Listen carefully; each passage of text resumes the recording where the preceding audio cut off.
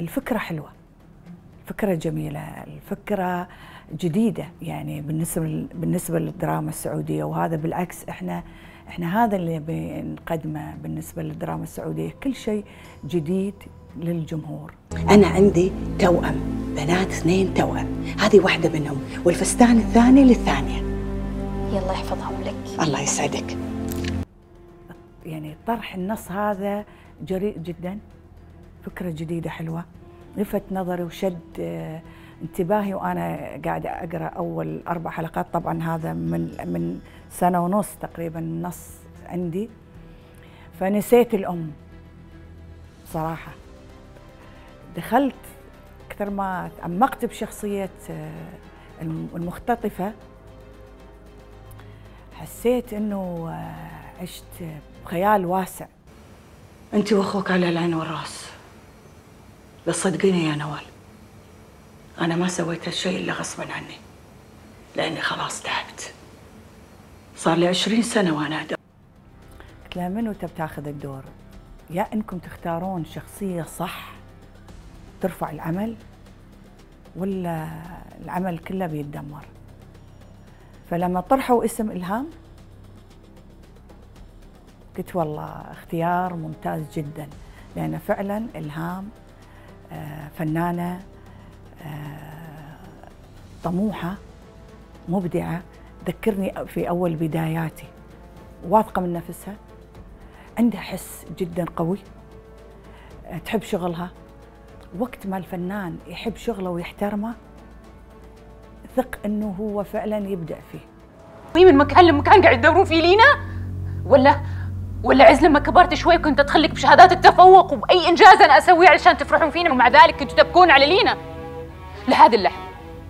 لهذه اللحظة أنتم محارميني من أبسط حقوق فرحتي بزواجي. هي المشكلة داخل الأم. التوأم. هم روح واحدة. سبحان الله. والدليل إنه اللي عنده توأم يحس بهذا الشيء. كل ما تشوف خلود وين بنتي؟ أو شو ما أبي أتكلم عن آه، شخصيتي ومعاناته في العمل بالنسبة لفاطمة. بس آه، دور آه، قلت لك هو صغير بس حبيته كثير. معاناة الأم مع فقدان نصف روحها من الحياة. كل هدفها الأم إنه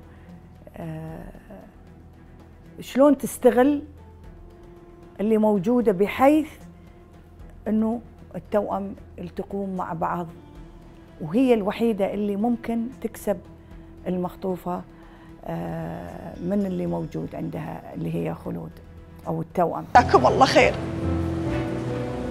رقم التليفون موجود على الصورة. هذه بنتي اخطفوها من سنين عيال الحرام اللي ما يخافون الله. كل واحد وله طريقته في الإخراج. ونحترم كل مخرج وهو خياله وشغله وطريقته. الشغل اللي قاعد الحين نشتغله آه، ما أقول أنا بالنسبة لي ما أقول إنه اختلاف كلي ولكن عنده لمسات حلوة وجميلة. فما دام هذا الشيء يضيف لك فأنت تستقبله وأنت مبتسم ومرتاح حتى لو كان في تعب. بس نعرف بعد التعب هذا في نتيجة حلوة. وجميلة. الفرج من عندك يا الله. تقول نسيتها وش اللي غير رأيك؟ جيل هذا أحس إنه اللي يحب عمله. اللي يحب عنده إحساس إنه آه، ممثل صح. مش شهرة لا كممثل. يحب عمله ويحب تمثيله ويحب إنه يبرز بصورة مميزة ويوصل للحلم اللي هو يبيه. آه فيه شايفة كثير من الشباب والشابات وهذا شيء مشرف ويسعدنا جدا بالعكس ونفرح فيهم ونشجعهم ونقول لهم يعني آه، نتمنى إنه نبني جيل زائد إنه الحياة قاعدة تتطور والأمور قاعدة تتطور والتكنولوجيا وفي أشياء كثيرة ممكن هم بعدين يفهموها إحنا ما نفهمها. بس أرجع وأقول الروح. الروح إذا أنت حبيت عملك تبدع فيه. وهذا موجود عند الشباب والحمد لله. اللي معانا كم شاب وكم شابة مبدعين بصراحة.